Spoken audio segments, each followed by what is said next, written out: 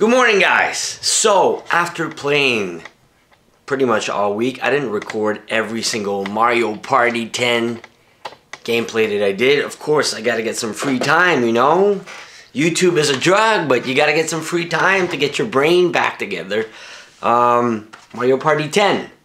People have been asking me to do a review. Should I buy it? Should I not buy it? I, uh, most likely haven't been a Mario Party fan since the good old days on the 64. Those were my favorites back then. Uh, I'll try to do this as honestly as possible, straightforward. No edit, no takebacks. I'm going one shot with this. Um, I've been unhappy about the whole fact that there's no online. We're all mad about that, but it's called Mario Party. Now, I got my family to play with me. Now that's a party. That's why it's called Mario Party. Uh, the whole point is having your family together, having the experience of everybody being there with you. I think that's the point of why the game has no online. I think I got what Nintendo's vibe is feeling, and they want to keep it as a party. So, hands off, uh, in house, when you got a group of five five people. Very awesome, very, very good, elaborate times. I had a blast. Uh, I would say that the Bowser, the Bowser uh, party mode is fun, but it gets kind of boring after a while because there's not a lot of mini games. Uh, maybe I have to unlock more stuff, but I think I pretty much unlocked a lot of stuff. Um, and the uh, the regular the regular Mario Party is what kicks uh, the game back into place. It gives it a higher score. Uh, playing the Mario Party, all the different levels. The unlockables are cool. Also, you, you don't have much characters yet. Maybe you'll get more, but unlocking this those different spaceships and bonuses and stuff. Uh, I would say having different boards is cool. Different boards having different maps uh, I played the Chaos Castle, all these different like boards and games. There's like five, six, five or six different boards. I consider them like different games also. So that's a pointer. There's a lot of replay value for me. I love it. Playing with the family is awesome. Even that's the, that's the funny part. Even if you're on your own, it's like the first Mario Party I enjoy playing on my own also and it always gets so challenging. I'll try to put the I unlock a in the unlockable I unlock a CPU mode to make them like in master mode so they're really tough. So the challenge is there, the game is good. Other point is I, I can't forget, I can't forget. The uh the downside, the downside of this game, the amiibo features. Again, that's the only part I want to complain about is they don't do much. Uh, I was hoping for something a little bit extra. I don't, I can't put my mind to it or on it. I just, I wish it had more features for the amiibo. It's cool to drop them down. The amiibo game is fun, kind of short, but it revolves around the Mario Bowser Party ones.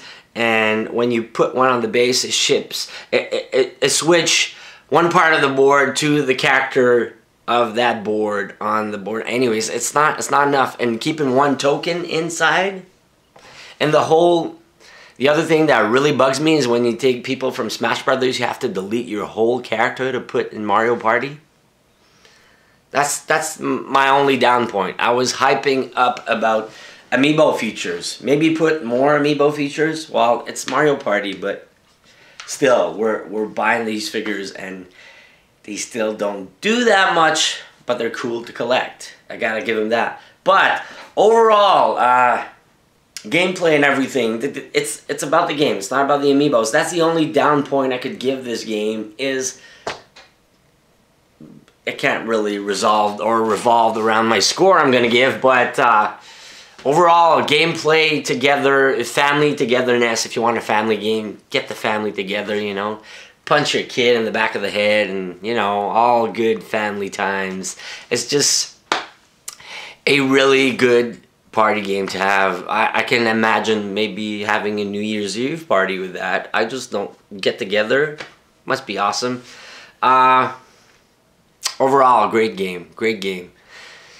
Love to play on my own. Love to play on my family. A lot of hours of gameplay. I don't know about the replay value, but I'm playing. I've been playing all this week since they came out, and uh, I can't put it down. Honestly, it's very fun. So overall, overall, would I say it's a must buy? If you like that type of game, the board games, all the mini games that included are in here are kind of epic and unique. Some of them are really fun and some of them are like meh, but a lot of them are good. So if I had to put a number on this, I want to give it a 9, but people are going to be, oh, it's too overrated. I'll, I'll give it an 8 at least, but not a 7. At least an 8. 8.5. 8.5 on 10 for me. So yeah, if you're a Mario fan, for sure. Mario Party, I think it's back there. Back from the 64 days. At least.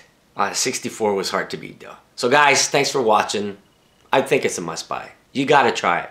Rent it at least and let me know. Comment box down below if you do enjoy this game. Um, I'd like to hear, get some feedback from you. What, what would you uh, put some downer points on this? Uh, the boss battles too. Oh, the boss battles are epic. I gotta them that. Yeah, eight, eight. Just thinking about the boss battle, eight point five on ten. Thank you so much. I hope it helped you out. Like I said, no edit, straightforward, one shot. Uh, if if it would really was bad, I would tell you right off the bat. You know, I think the people that maybe the big reviewers, I, I just wondering if they only played. If you only play the Bowser Party mode uh, you're not experiencing the full power of this game. So, cut this short. Goodbye. Love you all. See you soon.